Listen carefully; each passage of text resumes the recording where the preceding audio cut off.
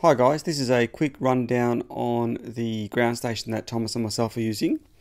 Uh, that's the main box. Uh, what we've got down here is the support, which I'm using a light stand, basically a photographic video light stand, and a 10 millimeter aluminium pole that holds the uh, basically the video receiver. And um, this is what the unit looks like. So basically, like I said, a light stand, a 10 millimeter aluminium tubing. And basically the main monitor is actually covered with uh, I've used Corex there. And um, I've got the actual uh, video recorder mounted on the side. So this is the video receiver mounted up top with a little plastic clip.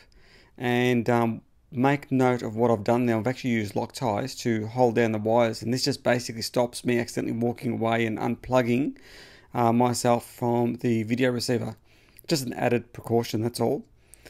Uh, the video system itself that I'm using is really, really good. Um, I'm using the SanDisk V-Mate, and these aren't made anymore, but they're available through eBay if you find someone who happens to be selling one.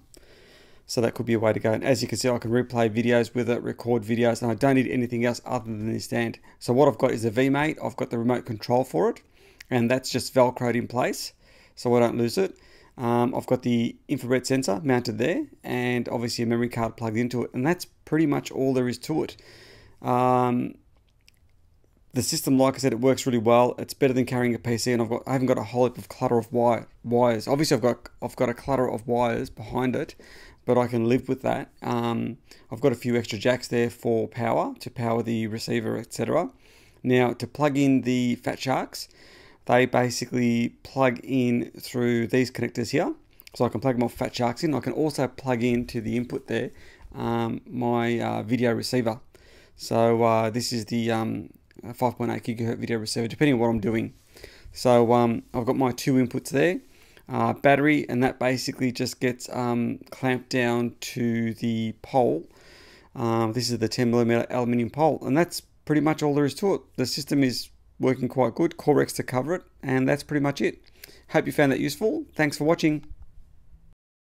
Okay, guys, this is our new fly fishing channel. Yeah, so um, this is basically where you'll be seeing us fly fishing, and I'm only new, so I guess you'll see me progressing through it.